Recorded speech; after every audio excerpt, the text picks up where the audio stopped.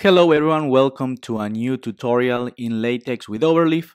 My name is Juan. Today I'm going to show you how to add notes to a table or a graph or any figure that you include in your templates. I have seen many tutorials, uh, many different options. Um, I checked in Google and stuff, and they all seem to be very complicated. They don't seem to work properly.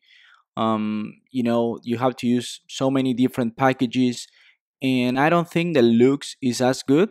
So I'm going to show you how I add notes, the way that it will make it look in this format.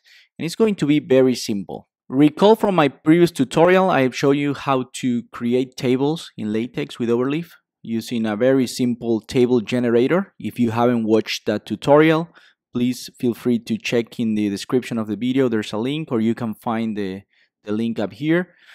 And well, we have the table, we had generated the table, and we're going to try to add some notes like this. The first thing that we're going to do is to locate where it says end table and there we're going to um, include the following text. We're going to type begin and then we in curly brackets we're going to put mini page. So what mini page is going to do is going to exactly add a little text under um, under the table that we are including here. So after mini page, you have to add some curly brackets, and this is going to tell the length of the mini page. And I'm going to show you this right now. So for example, I'm going to type 13 centimeters. Um, this is something that you will have to uh, try to, um, you know, try different sorts of centimeters to see, you know, the, the exact length of your table. But that's basically it. How many centimeters uh, long is your table?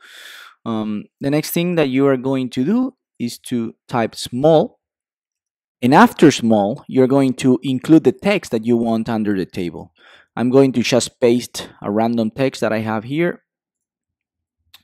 And now we hit recompile and it's going to appear the text under the, the table. Now, like I mentioned, here you have to, it's like you have to try different um, lengths. In this case, 13, it was a bit too long. So let's go with 12 centimeters.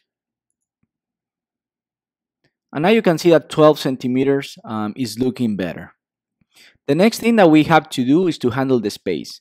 So now I'm going to show you how to add the space between the table and the notes. You're going to hit after begin mini page. You're going to type V space, which stands for vertical space, and you're going to type 0.1 centimeters. You can try with 0.2, 0.3. I wouldn't go over 0.3 because that's going to add a lot of space after the between the table and the notes. But 0.1 I think it looks it looks good. And the next thing I'm going to do now is add the lines the horizontal lines. So to add an horizontal line all you have to do is to type H line that's an horizontal line and we're gonna hit recompile. And you can see that now it adds um, it's going to add a line the next thing you can tell is now the line is very close to the notes. So we can definitely, after the line, we can add another space, 0.1 centimeters.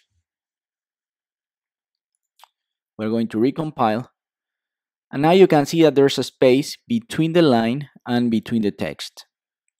Finally, I would like to add a second line. This is optional. Some people just like one line. I personally like two lines. So I'm going to type again H line. So that's going to add two lines. We recompile and here we go. I hope you find this tutorial useful and in case you're interested in LaTeX with Overleaf tutorials, please feel free to subscribe to my channel because I will be submitting more videos about how to do different things in LaTeX with Overleaf. And also, I teach how to forecast and estimate different applied time series and forecasting models. So if that's something you're interested in, if you're an economics student or a business student and you are interested in learning how to estimate different applied economic models, you can also check my website and you will find all the tutorials that I have available in Stata, eViews, and Python. Thank you very much for watching.